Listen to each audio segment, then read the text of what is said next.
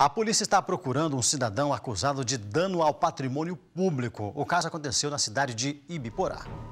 O vandalismo aconteceu durante a madrugada, mas as câmeras da prefeitura de Ibiporã registraram tudo com muita nitidez. O homem sabe que está sendo flagrado pelo sistema de monitoramento. Mesmo assim, ele não hesita e chuta a placa. Em seguida, ele olha para a câmera que está no poste e faz um sinal obsceno com a mão. Depois, ele segue e destrói outras sete placas. No total, foram oito destruídas. Esse daí ocorreu na noite de sábado para domingo, por volta das 23h30. E nós estamos tentando identificar essa pessoa para ser tomada as providências cabíveis contra ela, tendo em vista que foi registrado um BO. Ali, pelo que a gente observa pela filmagem, é, ele tem certeza de que está sendo observado. E o que mais fica, a gente fica indignado, que além dele depredar um patrimônio público, ele faz gesto obsceno para a Câmara. Provavelmente sabia que alguém estava observando. Essas placas estavam ali no jardim que divide a Avenida Tiradentes, também na rotatória. O que são essas placas?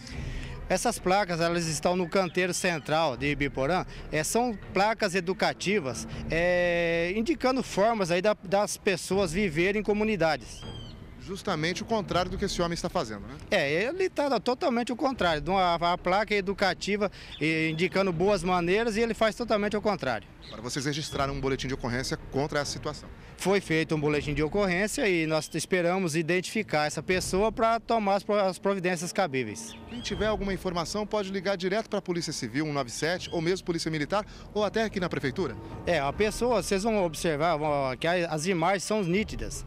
E quem souber, por gentileza, faça contato com a polícia e também com aqui com a prefeitura. Qual é o telefone aqui da prefeitura? 3178 8454.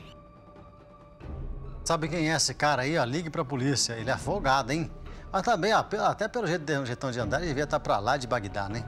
Para cometer uma atitude dessa aí, não pode estar tá, tá normal, não. Deve, em sã consciência, o cara não é tão babaca a esse ponto. Não pode, pode. Só que a justiça vai te penalizar, cara. Você não tenha dúvida disso. Depois não adianta chorar lá, ah, desculpa, eu não sei porque que eu fiz tal. A hora que o prejuízo vir, a hora que você tiver que pagar esses danos, esses prejuízos que você causou à prefeitura. E olha, você vai pagar, não tenha dúvida disso.